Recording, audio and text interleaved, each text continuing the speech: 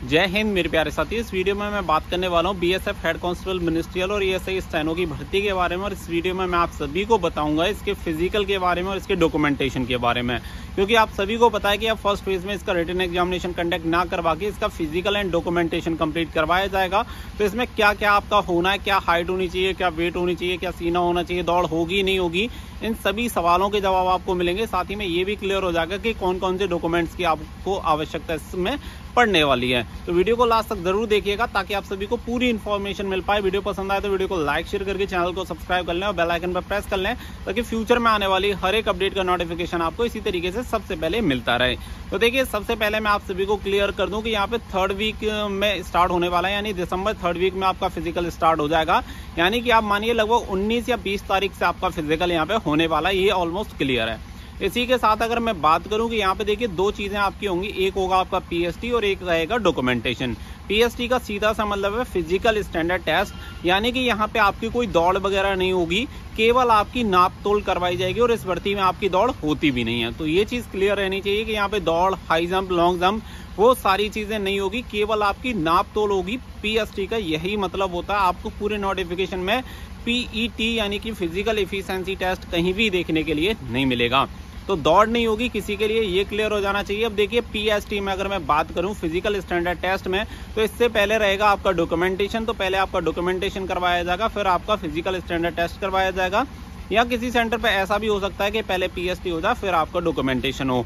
तो ये बड़ा इशू आपके लिए नहीं है। अब देखिए मैं बात करूँ कि पीएसटी में होगा क्या क्या तो पीएसटी में अगर मैं बात करूँ, जो नोटिफिकेशन में आपको आपकी मापतोल बताई गई है कि कितनी आपकी मापतोल होनी चाहिए, जैसे कि अगर मैं लंबाई की बात करूँ तो लंबाई मेल कैंडिडेट के लिए एक सौ पैंसठ सेंटीमीटर मांगी गई है तो एक सौ पैंसठ सेंटीमीटर आपकी लंबाई होनी चाहिए। ऐसे कैंडिडेट जो की मेल है और एसटी कैटेगरी से बिलोंग करते हैं, उनकी एक सेंटीमीटर लंबाई होनी चाहिए। वहीं पर अगर मैं बात करूँ फीमेल कैंडिडेट की, जो कि जनरल ओबीसी ईडब्ल्यूएस कैटेगरी वगैरह से बिलोंग करते हैं तो उनकी 155 सेंटीमीटर यहाँ पे लंबाई होनी चाहिए। साथ ही में ऐसी महिला जो कि एसटी कैटेगरी से बिलोंग करती है, उनकी 150 सेंटीमीटर लंबाई यहाँ पे होनी चाहिए। तो ये तो रहता है आपका पीएसटी इसमें अगर मैं बात करूँ तो फीमेल कैंडिडेट के लिए हाइट के अलावा केवल वज़न मापा जाता है।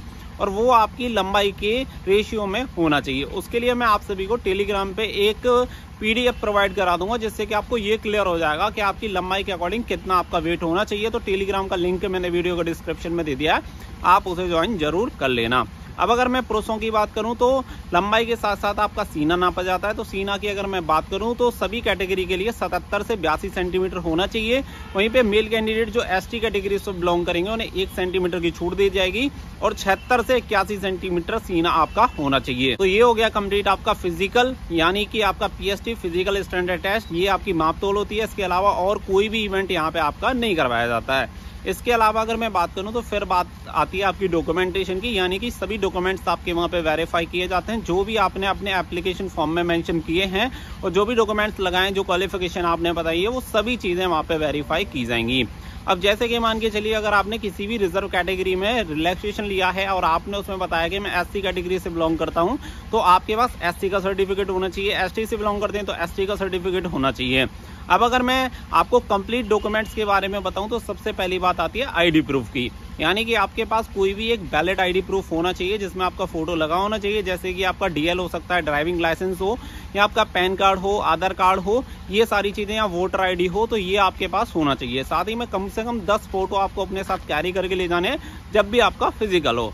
तो ये हो गई आपकी सबसे स्टार्टिंग वाली डॉक्यूमेंट्स की बात। इसके अलावा अगर मैं बात करूँ तो देखिए, आपका मेट्रिकुलेशन सर्टिफिकेट होना चाहिए, जिससे आपकी डेट ऑफ़ बर्थ कंफर्म होती है। यानी कि डेट ऑफ़ बर्थ के लिए जो सर्टिफिकेट होता है, केवल आपका टेंथ का जो पासिंग सर्टिफिकेट होता है, उसी के अकॉर्डिंग आपकी एज देखी जाती है। तो आपके पास टेंथ की पासिंग सर्टिफिकेट होना चाहिए और मार्कशीट वगैरह या सनद अलग अलग दोनों है, दो सर्टिफिकेट है तो दोनों आपके पास होने चाहिए। इसके अलावा बात आती है, क्योंकि भर्ती आप सभी को पता है कि ट्वेल्थ पास से निकाली गई है तो ट्वेल्थ पास के डॉक्यूमेंट आपके पास होने चाहिए। जैसे आपकी मार्कशीट हो गई, सनद हो गई, जो भी चीज़ें आपकी अलग अलग हो तो दोनों ही अलग अलग आपके पास होनी चाहिए। साथ ही में आपके पास डोमिसाइल सर्टिफिकेट होना चाहिए, यानी कि जिस राज्य से आप बिलोंग करते हैं, वहाँ का निवास प्रमाण पत्र आपके पास होना चाहिए। इसके अलावा अगर मैं बात करूँ तो कास्ट सर्टिफिकेट होना चाहिए। अगर आप जनरल कैटेगरी से बिलोंग करते हैं तो आपको कोई ज़रूरत नहीं है, उसका कोई कास्ट सर्टिफिकेट नहीं होता है। बट अगर आप एससी से बिलोंग करते हैं एसटी से बिलोंग करते हैं, या आप ईडब्ल्यूएस कैटेगरी से बिलोंग करते हैं तो उसके लिए आपको कास्ट सर्टिफिकेट की ज़रूरत पड़ेगी। वो आपके पास होना चाहिए। इसके अलावा किसी अदर डॉक्यूमेंट्स की आपको ज़रूरत नहीं पड़ती बट अगर आपने जैसे एनसीसी लगा रखा है तो एनसीसी आपके पास होना चाहिए। अगर आपने अपने स्नातक यानी ग्रेजुएशन डिग्री वाले अगर डॉक्यूमेंट्स लगा दिए तो वो भी वहाँ पे आपको चाहिए। यानी कि अगर एडिशनल अपने कोई सर्टिफिकेट यूज़ किया है तो उन सर्टिफिकेट की आवश्यकता पड़ेगी। बाकी के यही सर्टिफिकेट आपके होने चाहिए। जैसे टेंथ का सर्टिफिकेट हो गया ट्वेल्थ का सर्टिफिकेट हो गया कास्ट सर्टिफिकेट हो गया डोमिसाइल सर्टिफिकेट हो गया, और आपकी आईडी प्रूफ हो गई। तो सबसे मोस्ट इंपोर्टेंट यही चीज़ें रहती हैं। बाकी का अगर आपने एप्लीकेशन फॉर्म फिल करने में कोई मिस्टेक कर दिया तो आप उसके लिए एक एफिडेविट भी बनवा के ले जा सकते हैं। कोर्ट से वो सौ पचास रुपए का आपका एफिडेविट बन जाता है कि ये गलती से हमारा ऐसा लिख गया और बाकी का ये सेम है तो उसके अकॉर्डिंग आप ले जाएँ। और बाकी का अगर आपके आधार कार्ड वगैरह में अगर मिसमैच है तो उसे सही करवा लें तो वो आपके लिए ज़्यादा बेटर रहेगा। तो उम्मीद करता हूँ कि सारी चीज़ें आपको क्लियर हो गई होंगी, चाहे आपकी पीएसटी की बात करें या आपके डॉक्यूमेंटेशन की बात करें। तो दो ही चीज़ वहाँ पर आपकी होनी है, जो कि मैंने आप सभी को क्लियर कर दी है। फ़िज़िकल स्टैंडर्ड टेस्ट में केवल आपकी नाप तोल होनी है। डॉक्यूमेंट्स में आपने जो भी डॉक्यूमेंट्स अपने एप्लीकेशन फॉर्म में फॉर्म फिल करते टाइम लगाए हैं, वो सभी डॉक्यूमेंट्स आपके होने चाहिए।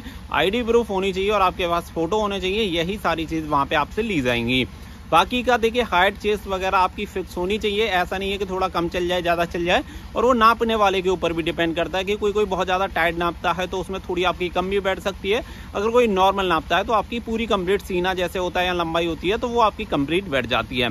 बाकी का वहाँ पे एक्यूरेट मापा जाता है। ऐसा नहीं है कि किसी से कोई दुश्मनी हो, वहाँ पे ये कोशिश रहती है कि ज़्यादा से ज़्यादा कैंडिडेट क्वालिफाई हो, जिससे कि ज़्यादा से ज़्यादा कैंडिडेट एग्ज़ाम में भी अपेयर होंगे और उन्हें मौका मिल पाएगा। और ये इस बार बहुत अच्छी बात रही है कि आप सभी का यहाँ पे पहले पीएसटी हो गया, इससे क्या रहेगा कि आप सभी को रिटर्न एग्जामिनेशन में बैठने का मौका मिलेगा। हालाँकि पहले भी मिलता, लेकिन बहुत सारे कैंडिडेट को फ़िज़िकल में मौका नहीं मिलता, क्योंकि आप सभी जानते हैं कि हेड कांस्टेबल के लिए केवल तीस गुना कैंडिडेट को क्वालिफाई किया जाता और ये सही स्टैंडों के लिए केवल दस गुना कैंडिडेट को क्वालिफाई किया जाता। लेकिन अभी बहुत सारी चीज़ें चेंज हो गई तो इस सब का बेनिफिट आपको लेना है और आपको टाइम भी मिल रहा है अपने एग्ज़ाम की तैयारी करने के लिए तो आप अपने एग्ज़ाम की तैयारी भी कर सकते हैं। साथ ही में टाइपिंग वगैरह की जो भी तैयारी है, आप उसे कंटिन्यू करते रहिएगा। वीडियो पसंद आई हो तो वीडियो को लाइक शेयर करके चैनल को सब्सक्राइब कर लेना और बेल आइकन पर प्रेस कर लेना, ताकि फ्यूचर में हर एक अपडेट का नोटिफिकेशन आपको इसी तरीके से सबसे पहले मिलता रहे।